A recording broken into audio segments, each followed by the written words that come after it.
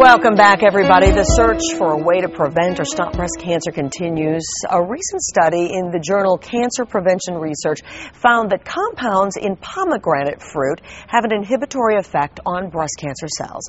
Here to talk more about the benefits of pomegranate is natural health care expert Mark Mincolla. It's nice to see Great you. Great to be here. Thank you. Uh, you and I are just chatting about this. This is an amazing breakthrough. Who knew? T- first, talk to me just about the study itself. Well, really, we're talking about ellagic acid, which is actually part of the French paradox, interestingly enough. They found it helpful for heart smart issues, mm-hmm. also for cancer and immunity. So they isolated 10 different cell lines with 10 different compounds from pomegranate. These are all ellagic acid antioxidant compounds.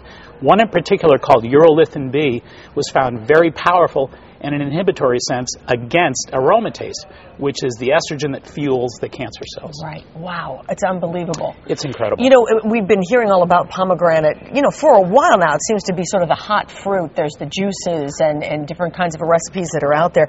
But you're saying pomegranate really isn't the only one that, that came through in this study. Exactly, where there are 46 different fruits and nuts, Kim, that actually have a high level of the same ellagic acid in them that pomegranate has. Mm-hmm. The real key to this particular study is, is we're finding that the aromatase, the aromatase is again the fuel, the estrogenic fuel that really makes this cancer grow sort of out of control, had an inhibitory effect when we exposed the pomegranate's ellagic acid to this. But ellagic acid is found in raspberries, black raspberries, strawberries. Those little seeds that are in those berries are loaded with ellagic acid. Studies done at the University of South Carolina Medical School, at Ohio State University previously showed very much the same kind of thing that this ellagic acid in these seeds within certain fruits very anti-cancerous. Well, the first thing I said to you was, I don't eat pomegranate and I don't drink the juice, and so I'm going to probably have to take uh, some kind of diet supplement Right. anyway, right? Because I can't get it through my diet. Well, not entirely true. Again, the researchers, for example, Dr. Richard Nixon, or not Richard Nixon, Daniel Nixon, down at the University of South Carolina, actually medical school, back in the 80s, late 80s, early 90s, found that actually when you isolate these ellagic acid cells with cancer lines from raspberries, three quarters of a cup of raspberries, you're able to neutralize cancer cells. So when you say three quarters of a cup, how often do I need to eat that? Well, they found that it had an immediate effect from moment to moment, day to day. So it's based on consumption. Obviously, if you want to have a consistent immune support response with this stuff, it's got to be more consistently consumed. Eat those fruits and vegetables, obviously, on an ongoing basis. Sure. But again, the point is, is that food has these very powerful antioxidant with great medicinal qualities that if we're consuming them on a regular routine basis, we're going to benefit from those. Yeah, because usually you end up having to take some kind of supplement. You can't get enough of something in your system just by eating it.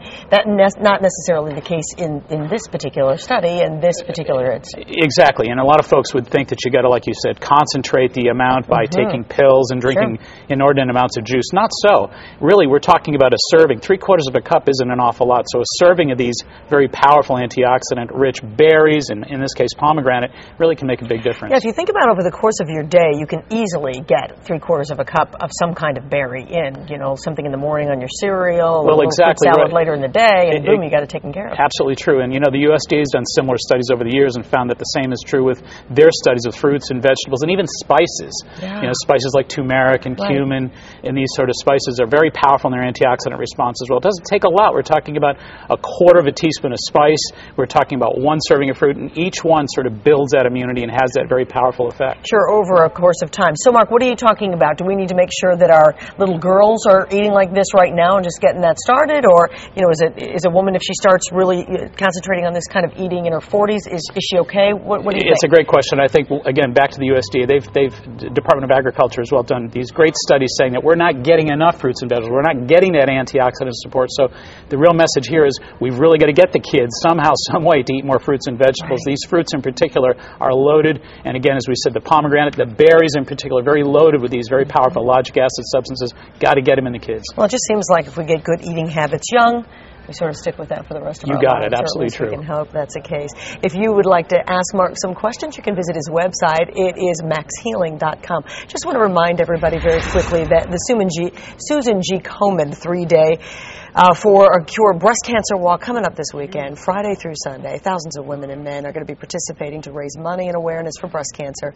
Their website is the3day.org. If you'd like more information, please be sure you check that out. Mark, great to see you like Great always. You. Thanks Thank for you coming so in to see us. We're going to check in with Cindy now.